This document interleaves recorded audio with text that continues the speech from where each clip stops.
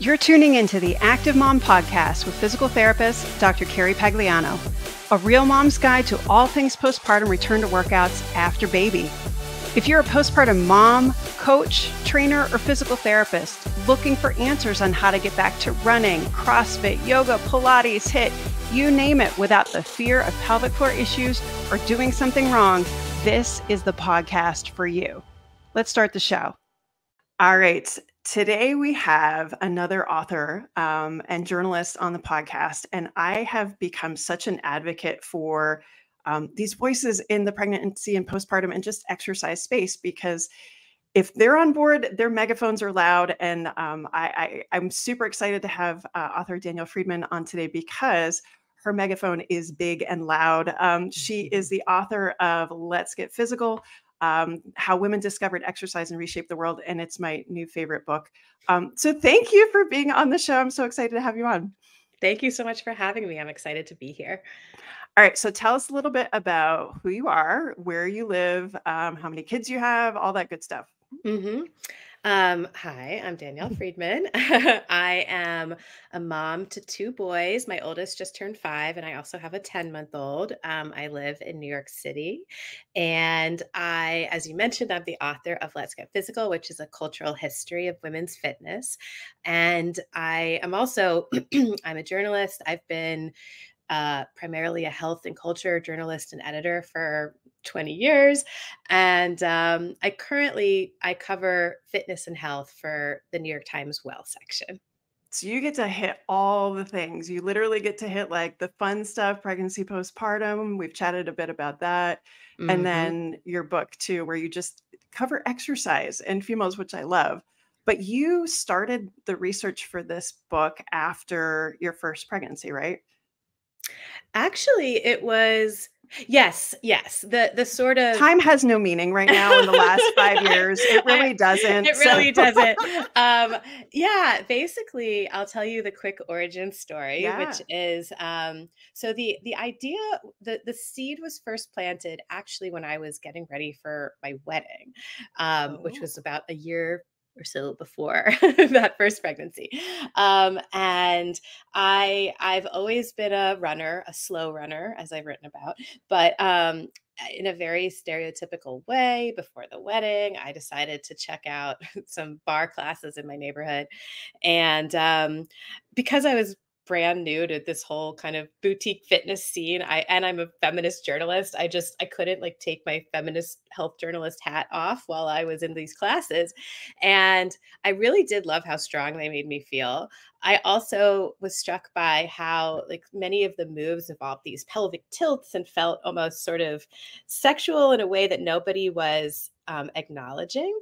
And so I at first I was like, I want to look into whether um, barre how you know whether it can impact sexual health and and pelvic floor health and that research sent me down a rabbit hole uh, and i discovered that barre was created by this like fascinating really complicated woman in the late 1950s in london um, named Lotte Berk who uh, had escaped nazi persecution in germany and sure enough she was ahead of her time in terms of kind of um, she was very open about her sexuality in class. She encouraged women to connect with their sensuality and i wrote about her for the cut and that was really the gateway and so i was like as i was researching her i literally i was like oh i'd love to speak with the person who wrote you know the book on the history of women's fitness and i was very surprised to discover that book did not exist and so um, I also felt like I had just,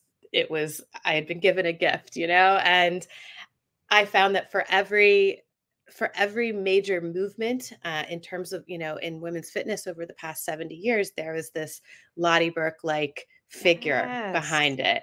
So that was it. It started before my wedding, and then I sold the book. You know, it took me a while. I wrote the book proposal. I, you know, researched it, and then my son, my older son, was um, was about 10 months old himself when I sold the proposal and I started the research um, right around, yeah, right around when COVID hit. So and that and that probably even and it seems like it changed even some of the trajectory of the book too, because the fitness totally. industry changed completely. Now we have all this virtual online stuff, which is like flashback to Jane Fonda and like, okay, mm-hmm. everything's, you know, virtual now. Um, yeah. Yeah it was definitely like a moving i mean moving target yeah. you know even though um, the book is a history and i should say too it's really also a history of beyond just like a series of fads you know how women's pursuit of physical strength particularly during times when women were told that you know pushing themselves would make their uterus fall out uh, how that led to other forms of um, you know, of physical autonomy and self determination and all of these things. And so I was writing this history, but of course, yeah, at the same time, I mean, like so much of what was true in the fall of 2019 just was kind of blown up by uh, right.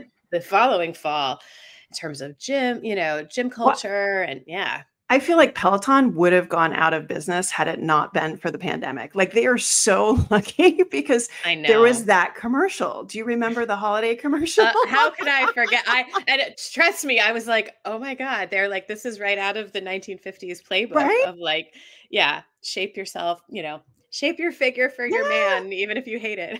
well, and, yeah. and, that's the thing that I, I found kind of as a theme as we go back, because I'm at this point now and and and you know 10, 10 years out from my youngest where I'm looking back and I'm like, okay, well, why aren't we any further ahead? And so when I look back in some of the stories that you shared, we all start out with this really great intention of, yes, we should be stronger, we should be doing these things. Mm-hmm. And then mm-hmm. there's like a hard left that goes, oh, but also you can be more curvy, so you're better for your man or better in bed. I'm like, wait, why do mm-hmm. we keep taking the hard left? And and like, why the patriarchy? But like, that's a bigger question.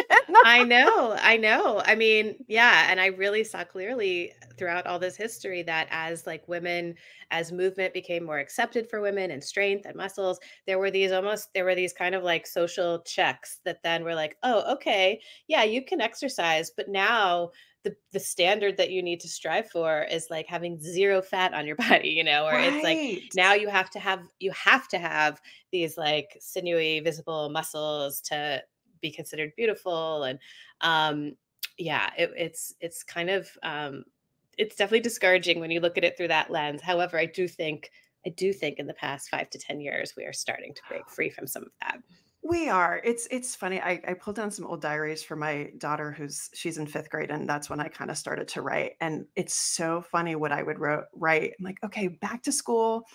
I'm gonna look good, feel great. My uh, muscles will be toned. I'm like, oh my God, that was programmed in my brain at 10. Yeah.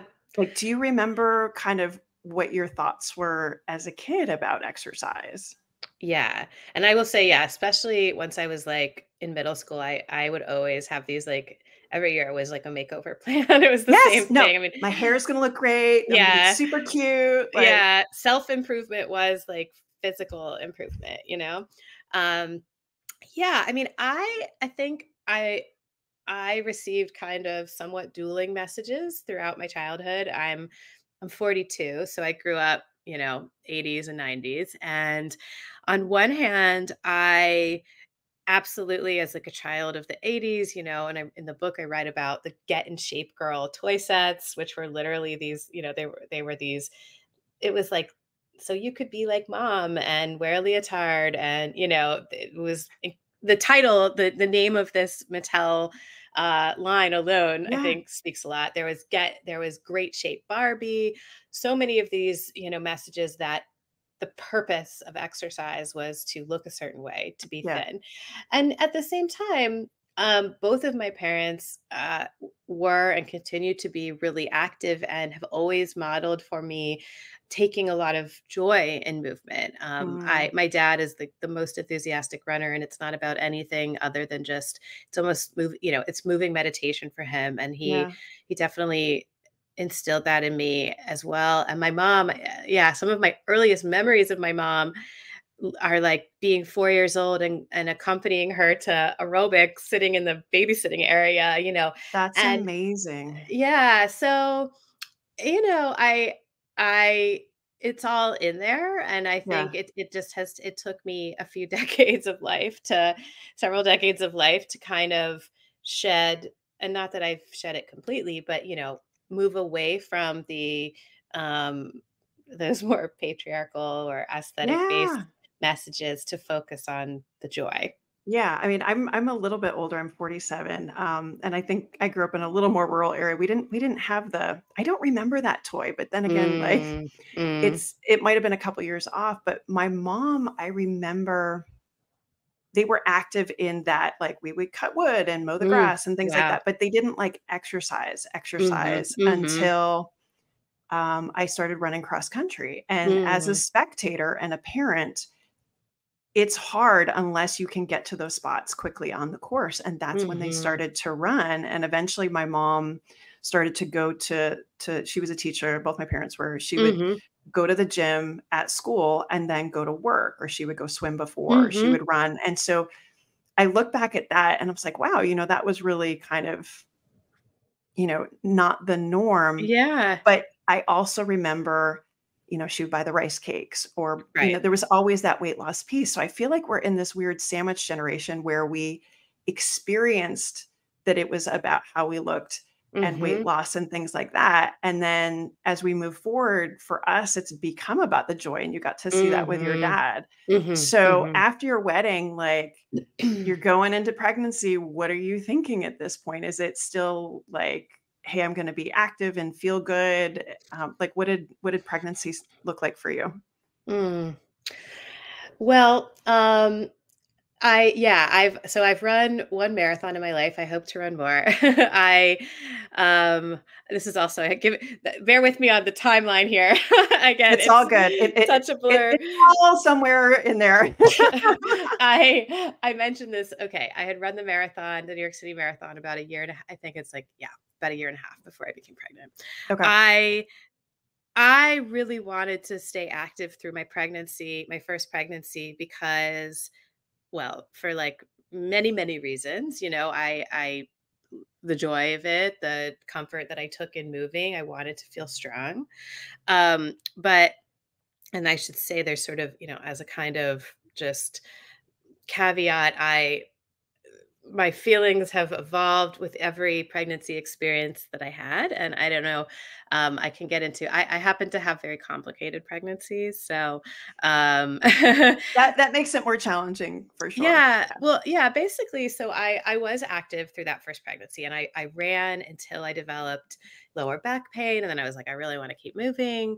Um, and so then I switched, you know, I, I actually worked with the pelvic floor PT starting at probably like five or six months into that That's first pregnancy. Awesome. Yeah. And like I was starting to experience some diastasis and she helped me with that. And she just, you know, it was nice to feel like I was to not worry that I was that I was doing anything that could harm myself. And I I switched to the elliptical.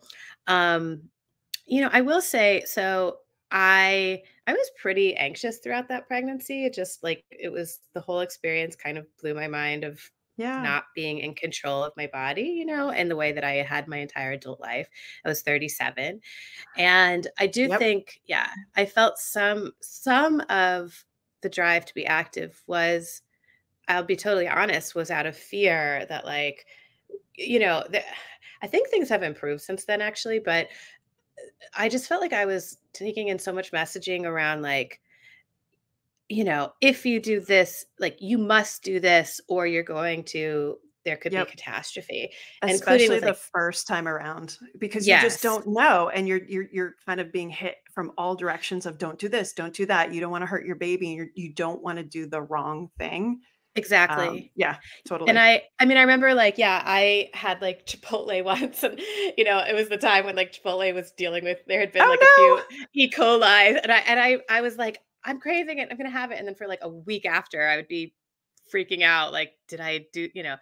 And right. so basically, though, at the end of that pregnancy, I actually, at, at around 35 weeks, I, my blood pressure shot up and mm. the, the, and like the diagnosis was basically preeclampsia. Um, yeah. And so, and I had, um, just based on blood alone. And so, and I ended up having to have an emergency C section and at 35 and a half weeks. And That's scary It was. And yeah, it took me a long time to kind of recover from that whole experience. Yes. But it also taught me, I will say, like in subsequent uh, with my most recent son, and I, I had a loss in the middle. And um Sorry. it yeah, that's okay. It but it in a weird way, it was like you know, I still think, and my sister is actually a gynecological surgeon, and so we talk about this stuff all the time. Like Yeah.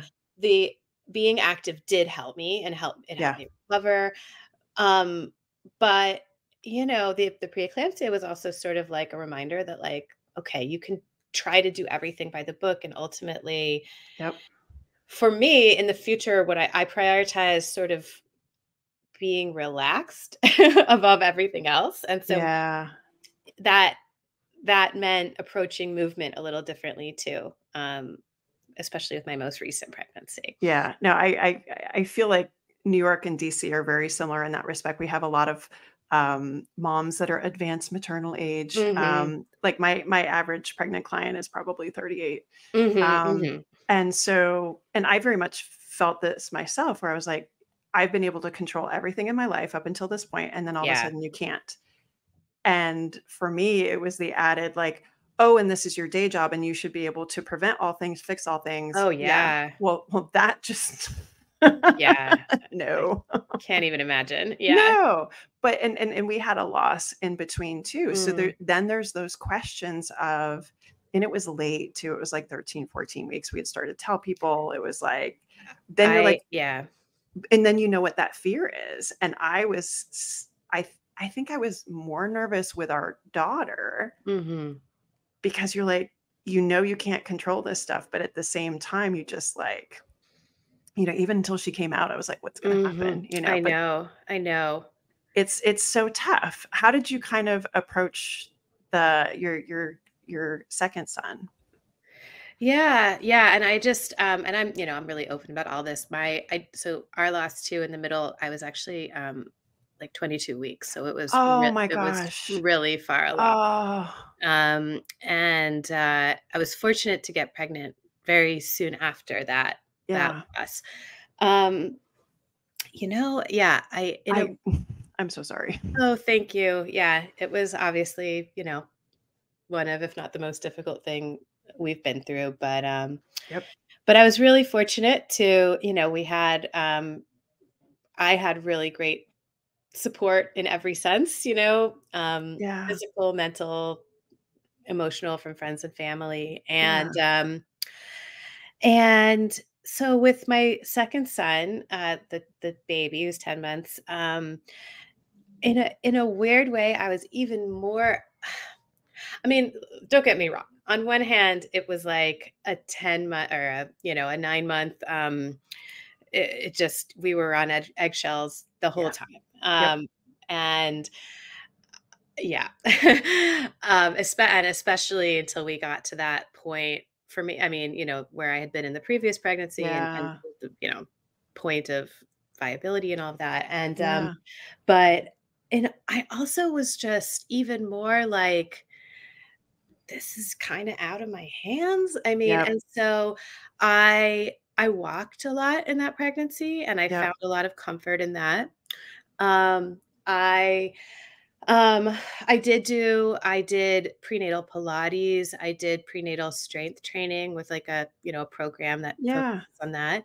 And I just again, it was just like kind of moving in ways that felt good and felt right for me. In Yep. between the loss and that pregnancy, I did train for and run a half marathon with my Did you dad. really? Oh my Yeah, goodness. and I just I just found for me, like and I did just write a piece for the Times that I interviewed you for about pre-pregnancy fitness, but I Yep. just found that for me, going into pregnancy feeling as strong and, you know, just just as strong as possible, Yep. um, helped me, if not as much mentally as anything else, you know? Yes. Yeah. So, um, yeah, it was just about like I doing whatever I had to do to be as zen as I could in between the moments of extreme, There's a know, lot to be there's a lot to be said about that. More, I think because more people are talking about loss Yeah. and what you're supposed to do. Mhm. Um Mhm. and and the thing is again, we barely have data for pregnancy and postpartum and that kind of stuff. It, but very much after our loss, I did not mm-hmm. want to run. It did not feel mm-hmm. it, mm-hmm. it wasn't that space. And so I, I mm. went to like a 6 30 a.m. yoga class with a bunch of 65 year old women that was just safe and quiet and ended up doing that through my pregnancy. But that's kind of what we're coming up with is like yeah you kind of have to depending on where you are yes we need to kind of build strength back and understand that you know you're going to have the hormone flux and and that basic stuff but i almost think the priority really is you know for you to go run a half marathon with your dad that was probably more for your heart yes totally. than it was you know to heal that to mm-hmm. be able to mm-hmm. move on and i, I I'm having more and more people asking about that. And that's mm-hmm. the answer mm-hmm. that I'm giving, having gone mm-hmm. through that. It's like, mm-hmm. and it takes years, you know, as you know. Um, I'm sorry for your loss too. Yeah. It's all, it's so hard. Doesn't matter where you no, it doesn't. It doesn't. I mean, we're, oh my gosh, 11 years out and I still remember the day. You yeah. Know, you still remember yeah. all of that. But I'm glad that we're having these conversations and for, you know, as as bad as social media can be for a lot of different things, I do feel that's one thing that we've been able to, you know, people see how mm-hmm. often it happens. And yeah, so yeah, yeah. Um, so now that you have 2 mm-hmm, mm-hmm. how's that looking? Because you've got one that went out the door to kindergarten, you've got mm-hmm. one going mm-hmm. down for a nap, like, and and now that you know all all the all all the boutique options that are out there, like, what, what fits right now? How do you decide oh. what fits for you? Um, yeah, I always and I will say, okay, as somebody who writes about fitness, um, obviously the book, but but presently for the, the New York Times, I always feel a little, um, you know, I feel Pressure? I, yeah, I, I, I was joking. You know, I get I get a lot of sort of PR requests to invitations, I should say, to go to classes. And I'm like, this is not like being a, a food critic, a restaurant critic, where you just show up. It's like that would be nice, though, wouldn't it? To switch gears for a second to be a food critic. it would. It really would. Um, so, but you know, I I do think, and again, I really credit my parents with helping to cultivate this in me. But like I, you know, I try to. I've always tried to be really kind to myself and compassionate with myself uh, as I when I you know, I, for me, fitness has been cyclical. And when I'm in a period where I'm sort of less active or, you know, yeah. um, I've continued to do Pilates, and that has been amazing. I actually wrote a story about Pilates for the New York Times about a year and a half ago. And the premise was like, is Pilates as good as everyone says? And I had done it a little before then, but I actually had had kind of mixed experiences in the studio. And I, mm-hmm. I ended up that that story and speaking with masters, you know, convinced me. And I found a, a local studio that um, has really been wonderful. And so that just regaining the strength there, um, this kind of full body, gentle strength has been great mentally and physically. I had a moment a few weeks ago that I've thought a lot about after because it is sort of like the theme of my book, but my normal instructor was um, was was out and so i was with somebody i hadn't worked with before and i had seen her working with other students and she she's russian and she's like really tough oh dear and she was kind of scary like i remember at one point we were doing a really challenging position and i was like oh i hate this one. She's like why? It's like it's really uncomfortable. She's like it's not supposed to be comfortable. But anyway at some point like toward the end she was like no you're you're really strong. And i was like and it it was just like a kind of offhand thing, you know, like, uh, you know, and it, but it, I was like, that is why these spaces can be so powerful. Yeah. Like to have somebody just tell you that, you know, is when you're feeling overwhelmed or, you know, when you're unsure, you recover, it's like, it can be really meaningful. So, yeah. Yeah. And I then, think that's important. Yeah. And and you do talk about that a little bit towards the end of the book. You talk about mm-hmm. kind of the value of community. Yes. Um, and sharing exercise space and movement historically throughout mm-hmm. like existence is something yeah. that's kind of primal to us really absolutely yeah and there's all these ways in which we've we've evolved that you know that we're rewarded for moving with other people uh, when we move in sync you know we there's neurochemicals that are released that help us feel bonded and a greater sense of hope and um,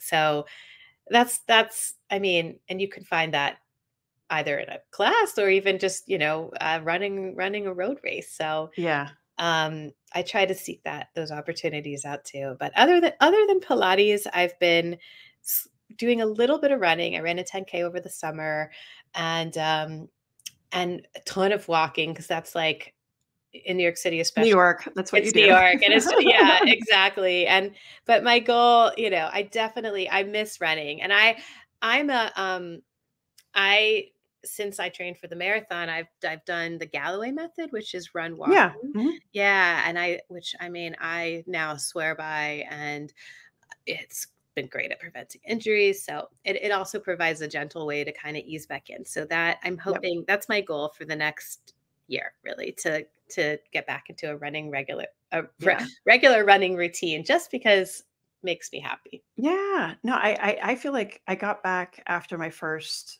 because you have one kid at that point. But mm-hmm. like with mm-hmm. two, it does. It kind of, and I think we have a little bit more, I don't know, forgiveness for ourselves or a little more patience with ourselves where we don't feel like we're trying to prove anything. Yeah. And we get back, you know, when it feels okay. I mean, I think mm-hmm. I probably started to run after our youngest i don't I, honestly i couldn't even tell you maybe a couple years and then mm-hmm. i think when she was three or four I was running some, but it wasn't feeling good. And that's when I started doing CrossFit. I was like, ooh, we're mm. going to have to mm. mash this up, which um, when you have two small children walking into a CrossFit gym is a little scary. yes. but but now like and what we know about load and you know now kind of staring down menopause and all that stuff i'm like yeah i'm glad i started now so any any chance i get new moms i'm like hey, so lifting a barbell is really good for a lot of reasons, and your performance is going to get better yeah. with running. We're we're getting a, ahead on the you know the bone loss issue all that stuff so anybody with that i'm like okay just be looking ahead community first get around those mm-hmm. other moms then mm-hmm. get back mm-hmm. to the stuff you love and then somewhere around the line we're, we're, we're gonna get under a barbell i and it's so funny i i have been craving that I've been wanting to lift heavy things that are uh, I, mm. other than my children. it makes you feel pretty badass. I'll be honest yeah. with you. Like it feels pretty cool. Yeah, that's um, right here. I'm I'm I'm really lucky when I started. Um, there's a, a, gym literally between my office and our house, and mm so I, I, went there and um, did a class that was a lot of moms after we dropped our kids off from school for a long time. So it was a very supportive community. The moms were freaking strong, like mm-hmm, super strong. Mm-hmm. Um, switch gyms. I go to a gym now at 5 30 a.m., but there's a couple other moms that were around the same mm-hmm. age. And yeah, there's some 20 somethings sprinkled in, but I'm like, we're still getting at it, you know? And it just, it mm-hmm. just, it feels good to be done with it too. Like I'm totally. workout's already done. I can get yeah. on with my day. yeah. Yeah, you're yeah, you're really inspiring me. I and I someday it wasn't early though. Like yeah. it, it, was when they were at school and you okay. know they would sleep okay. and not get out of bed and I didn't have yes. to feed them and all that yes. stuff. So yeah, no, it's coming. It's coming. I mean, I again, I always say like I you won't meet a truer believer in in movement and in yeah. in all of these things which I write about regularly and I get to you know I have the I'm so lucky I get to interview sort of the leading I experts know. about these things, you know. So it's just, eh, yeah. I mean, I, I it's it is no easier for me, uh, despite everything I now know, to find that time. Yeah, it know? is. It is. Yeah. So with with all the people you got to talk to, mm-hmm. like what story kind of inspired you the most, if you could pick one? Oh my gosh. Well, uh, I I I mean, this sounds this is cheesy, but I've really been inspired by almost every story that I've that I've had the opportunity to report for well. I mean, I've written two profiles in the past year um, that were so much fun to report and write. And one one was about uh, Martinus Evans, who's the founder of the it's called the Slow AF Run Club.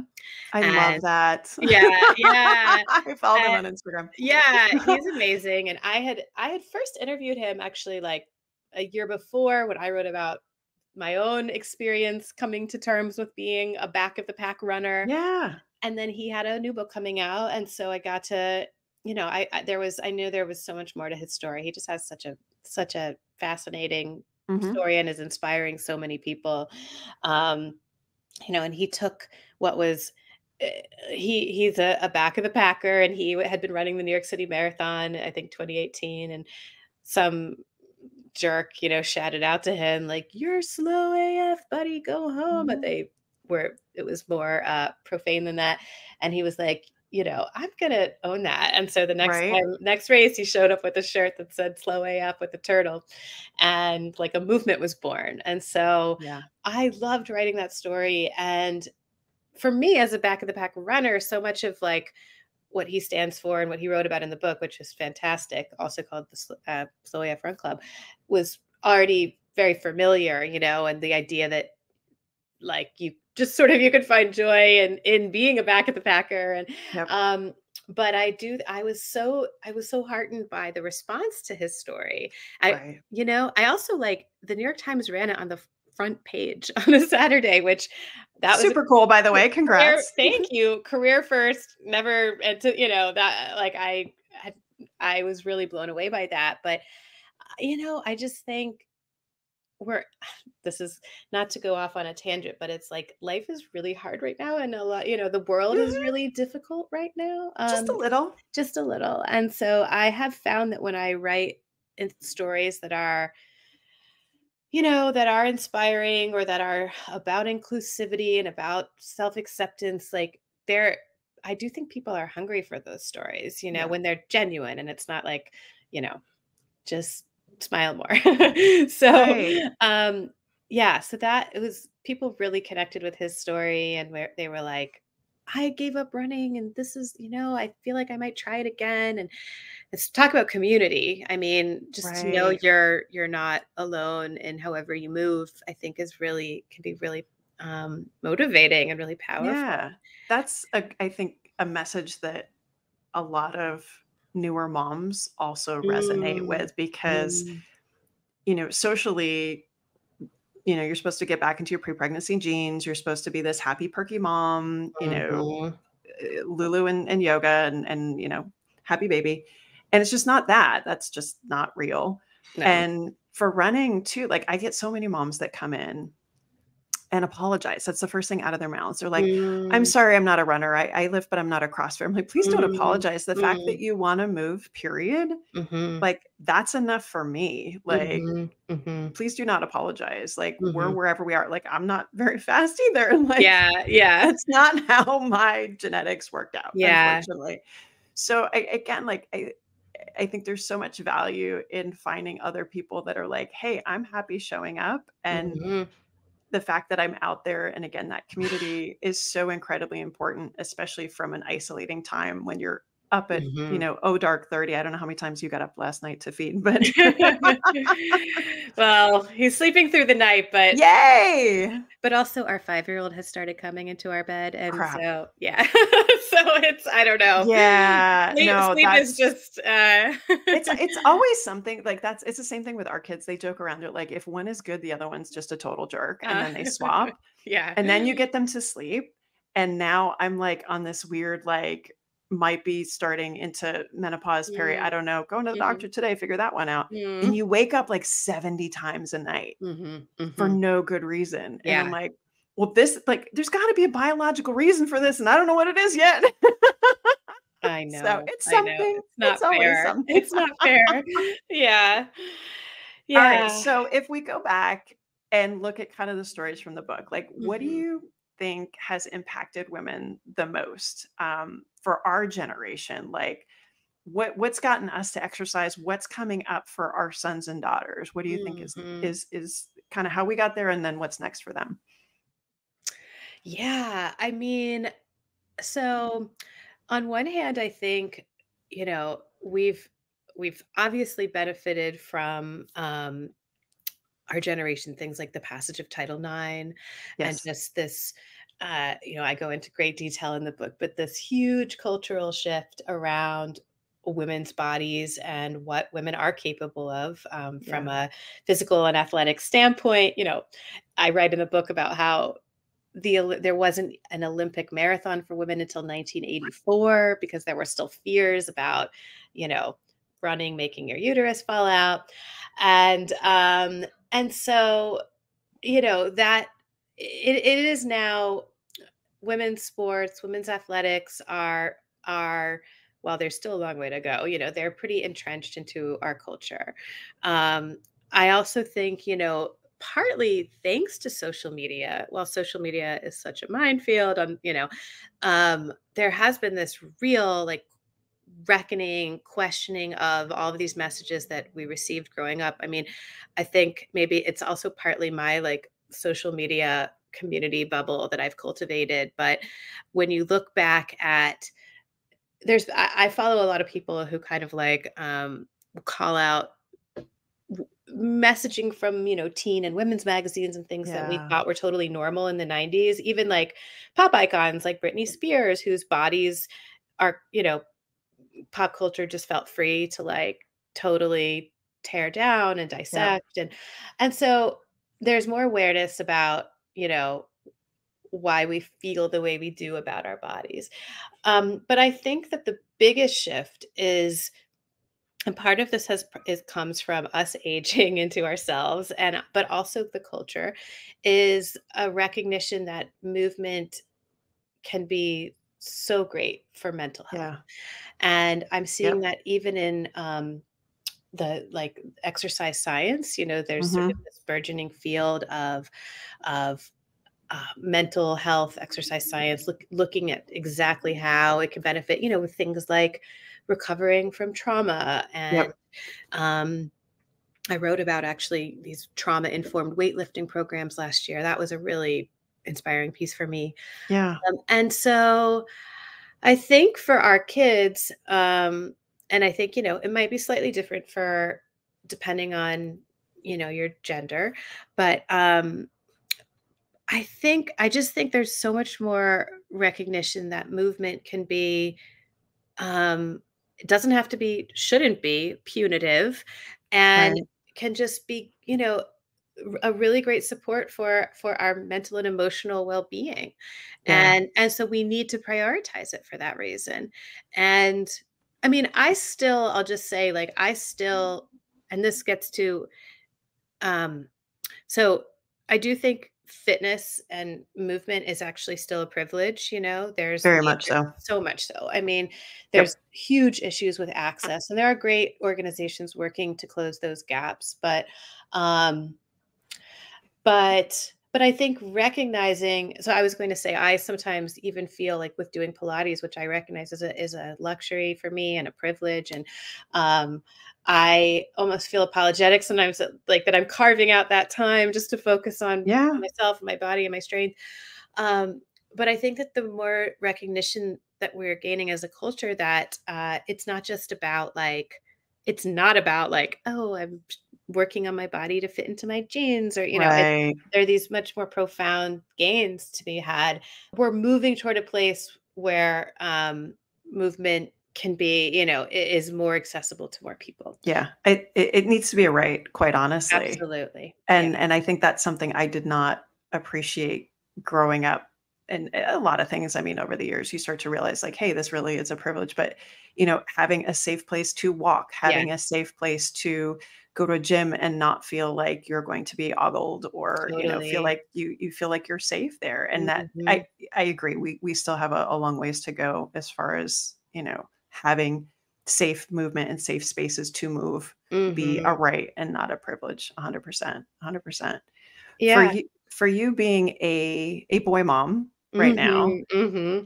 do you feel strongly about or like how do you feel as far as how you want to expose them to um you know how other genders move mm. because mm. you, you I, I do notice that I've had more conversations with with moms lately that and it's interesting because they're feminist moms and they mm-hmm. have boys and they're like, oh, well, we're not going to do this because there are girls involved. We want them to do just boy stuff. And I'm like, hmm. well, that's kind of not the real world yeah. either. So, yeah, like, yeah, how, yeah. How, so it's uh, for you, like any thoughts? I know you got a, you, you got a long time to think about this, but like how, how to make sure that, you know, that they understand kind of this whole uh, mm. other gender side of things. Well, it's really funny. I think about so there's this little there's this program in our neighborhood called Kids in Sports. It's like a really popular program for just little kids, you know, mm-hmm. multi-sport. and I signed my older son up when he was maybe two or something. And, and I, I should say my husband is um, is is not a sports guy. he's he he he's from LA and he he's a journalist as well. He writes okay. about one of the things he writes about is culture and like I always say like movies are his sport, you know. Ah. Uh, and so we sh- we sh- I signed my son up and we show up and I I was feeling like oh my god this feels so like stereotypical. I'm bringing my son to like a sports class, you know. Yep. And we show up and jokes on me he was the only boy in the class um so wow a- after that there was more you know like yeah. in subsequent sessions and stuff it was it was more 50 50 but um but i was like that i was just laughing at myself that at my even my own assumptions that this right? would be a boy dominated space i mean especially given everything i know so well i guess in addition to just you know we try to be very um you know we're, we're not like we're we're trying not to enforce very strict gender norms in our house and um but um but i think the biggest thing is just seeing me move you know and Absolutely. i am more like i he has really he's starting to have memories of me running races and especially because i run them with you know his grandpa and so he's yeah. they've come out and cheered for me and um that i think those memories those are going to i hope those will be some core memories and so and actually the fact that i am more involved in that kind of you know in like athletics than his dad um i think that'll be a healthy you know like a just a healthy paradigm i think for him to yep. be growing up with and taking into his adult life that's super cool and i i hear that from a lot of moms um even first time around new kid they want to be an example mm-hmm. um i've eh, my oldest not as we we have a rule that you have to do some sort of movement related activity each quarter mm-hmm. and so he he abides by that but by no means is he my sporty guy whereas my daughter is a little bit more mm-hmm. and um but this was the first year i just did army 10 miler and fortunately my husband got the kids down to mm-hmm. be able to cheer and that sort of thing and she ran with me for a little bit mm. and afterwards she's like can i do this with you next year and i was like I've never tried to push her. I was like, mm-hmm. that would be cool. 10's a little long. Let's start with a 5K. yeah, yeah, yeah. Baby steps. We don't need to blow you out at 10. Yeah, totally. That's so amazing That's though.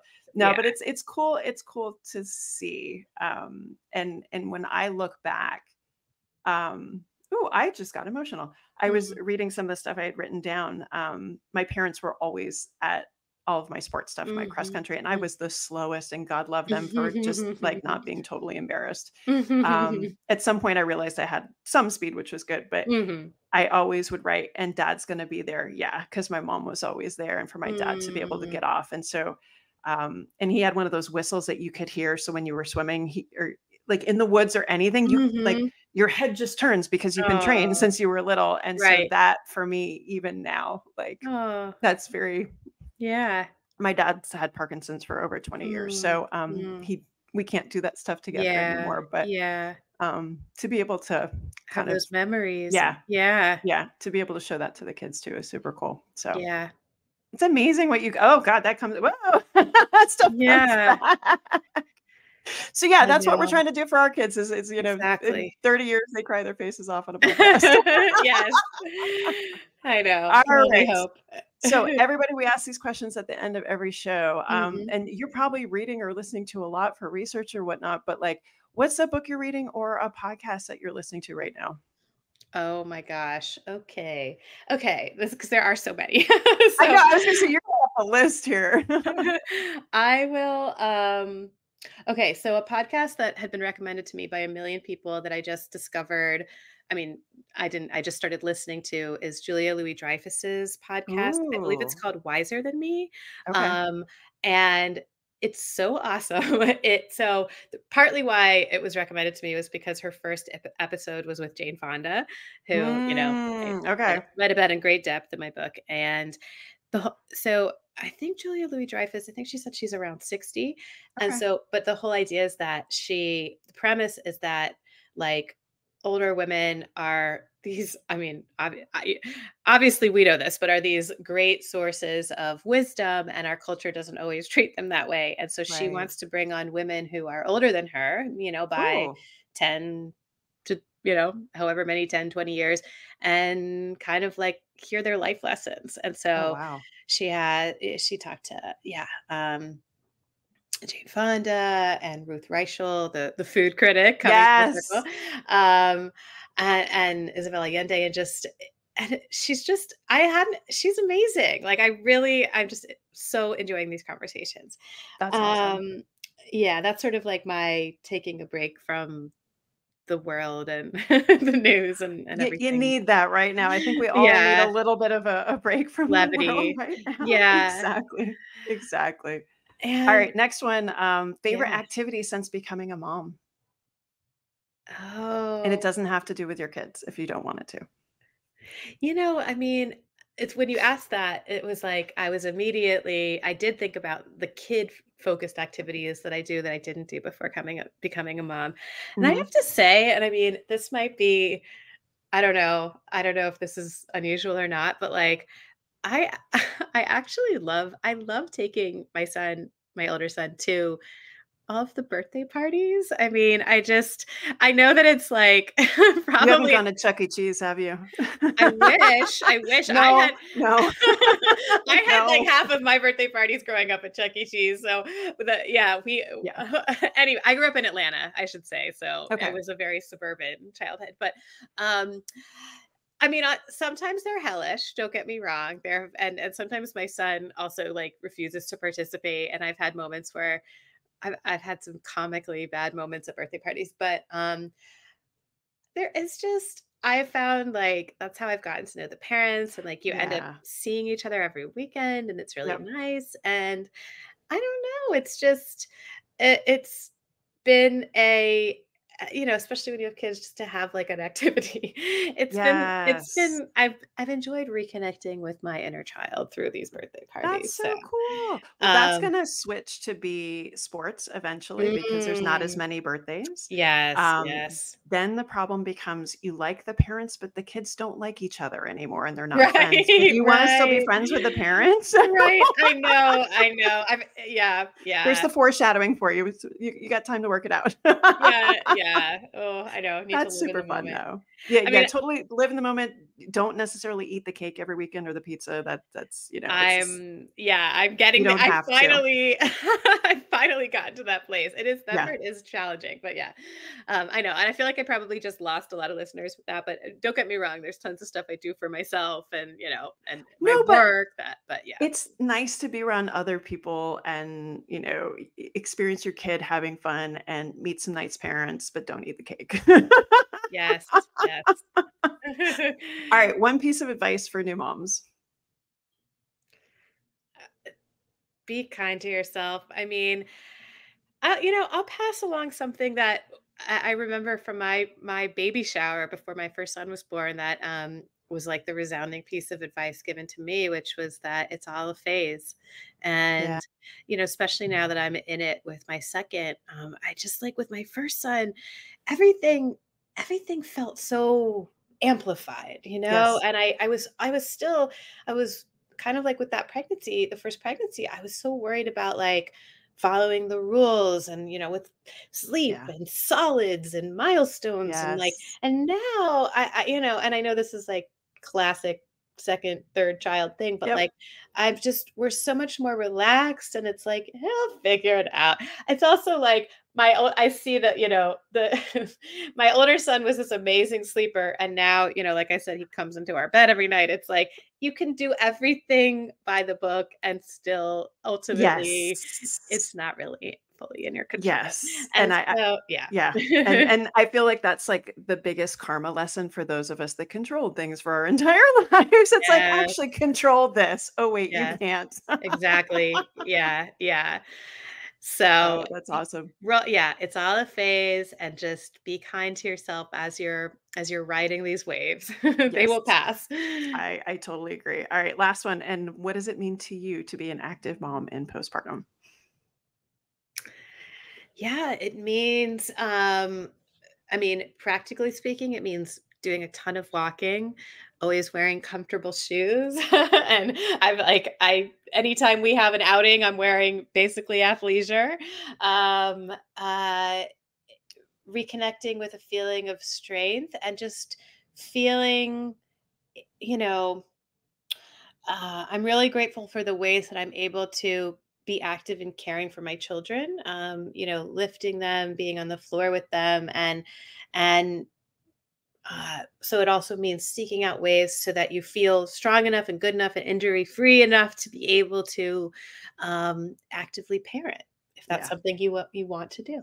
Yeah. And and that's gonna I, I always tell people, I'm like, look, it's gonna get more active. You're not gonna realize it, but especially once they start doing practices and you, you know, all yeah. that stuff, it, it, it it, it levels up. yeah, you, levels yeah, up. yeah, yeah. Built in, built in workouts. Yeah. Yes. No. Last last week, I think we were we were emailing, and I was on a field trip with 72 yes. fifth graders. It was supposed to be overnight camping. It was 28 degrees, so we slept in a animal lab with snakes, and I slept next to a box turtle. That's my first time on the floor and so sleeping on the floor and then the middle of the night had to take fifth graders out to go to the bathroom so you're like walking oh over like bodies and then carting stuff and so i'm like that's what you're training for is so you don't right. have to get up and pee yourself in the middle of the night 70 times yeah. and it doesn't kill you to sleep on the floor with a box turtle so oh I, am impressed that you slept at all so i am too i went in with really low expectations yeah. i think that's the key is like oh it wasn't so bad after all mm-hmm, so, mm-hmm, mm-hmm. Awesome. All right. So if you don't want to read about box turtles, but you do want to read about um, fitness and um, the history of how women explored exercise, you're gonna want to catch this book. I know we had Christine Yu on earlier this year. This, I think, you want to read this one first. Um, so it's let's let's get physical: how women discovered exercise and reshaped the world. And Danielle, you've been such a huge advocate for speaking to women's stories and getting some of our information for postpartum um, out there. And I just want to thank you so much for using your megaphone um, to get good vetted information out um, and mm. just keep doing it. We appreciate you. Thank you. Thank you for the work you do as well. I appreciate you. awesome. Thanks for being on the show. Thank you for having me. Did you enjoy the podcast? If so, leave us a five star review on iTunes and tell a friend to do the same. Are you a postpartum mom or postpartum pro wanting to know more about getting back to running after baby? Check out all my free goodies on carriepagliano.com. This podcast represents the opinions of Dr. Carrie Pagliano and her guests to the show. The content should not be taken as medical advice and is for entertainment purposes only. Always consult your healthcare professional for any medical questions.